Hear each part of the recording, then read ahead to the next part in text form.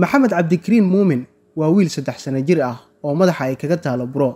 Dhowaan ayaa guddoomiyaha gobolka banaadir yuusuf xuseen jimcaale madaale uu howlo caafimaad ugu diray dalka dibaddiisa. Isbitaallo ku yaalla dalka hindiya ayaa la geeyey balse dhakhaatiirta waddankaasi ayaa sheegay in aysan waxba ka qaban karin.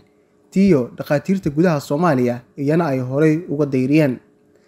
Dadka halkan fadhiya ayaa u duceynaya wiilkan oo dal iyo dibadba wax looga qaban waayey xaaladiisa caafimaad. Waa xaalad adag oo uu ku sugan yahay cunuga yar. Cabdikariin waa aabbaha maxamed. Waxaa horta marka ugu horeysa waxaa u mahad celinaa ilaah ka sokoo guddoomiyey madaale oo inoo suurtageliyey qaadida wiilkeyga oo waddanka wax loogu qaban waayey si aa u qanacno ama wax noo ka soo qabto waddanka indiya.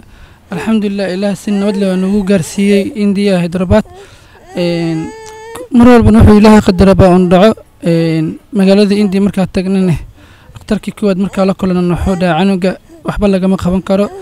Oo haddii waa la taabanaa la dhaho inuu indhoolo noqdo ama dhegol noqdo aa laga yaaba u marka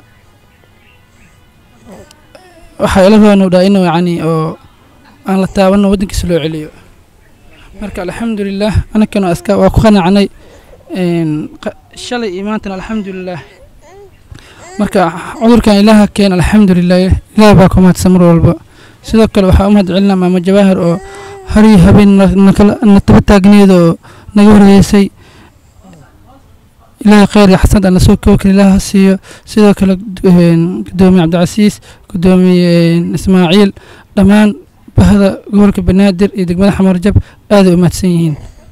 Guddoomiyaha degmada xamarjajab ee gobolka banaadir ayaa caafimaad u rajeeyey maxamed cabdikariin oo ah dhibane dhakhaatiirta dibadda iyo gudaha ay ka deeriyeen xaaladiisa. Ilaaha mahad iska leh.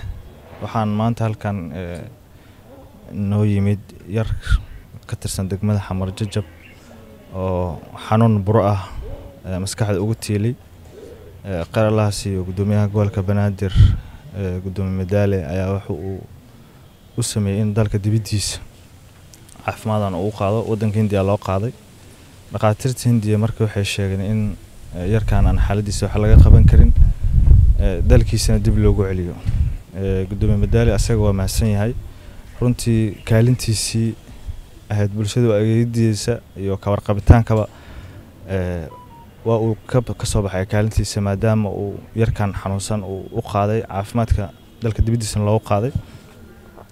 Cudurkan ilaaha keeno caafimaadkana ilaaha baxsho guddoomiyaha ururka haweenka gobolka banaadir jawaahir baarqab oo markii hore dhibaatada wiilkan yar u bandhigtay guddoomiyaha gobolka ayaa sheegtay in maamulka gobolka banaadir uu juhdi ballaaran ku bixiyey in caafimaad loo helo maxamed balse dhakhaatiirta waddanka hindiya ay gacmaha ka taageen iyada oo sheegtay in kiiskan uu yahay kii ugu horreeyey ee dalka dib loogu soo celiyo iyadoo dhammaan kiisaskii hore ee maamulka gobolka dibadda ugu diray lagu guulaystay markaan u gudbinay xaaladda maxamed yare oon u sheegay maalinaan ku qaabilnay degmadan oo aan dad masaakiina kula kulmaynay iyo dadka maaragtay xanuunada qaba.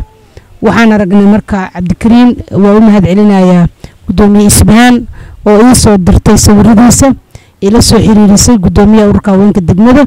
Waxay ii sheegtay inuu u baahan yahay in la saacido maxamed yare.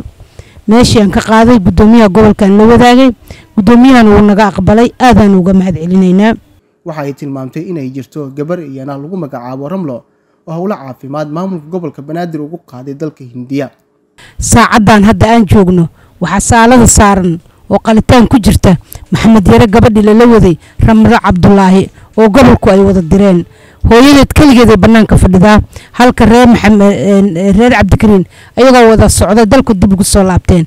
Waxay gelaysaa ramlo oo hadda ku jirtaa saalada qalitaanka oreed waa lagu bilaabay wuu ku socdaa saaka saddex saacay gashay ilaa hadda weli wuu ku jirtaa ilaa sideed saac ilaa toban saac u qaadanaa qalitaankeeda waana luqtaas oo aada u weynaatay.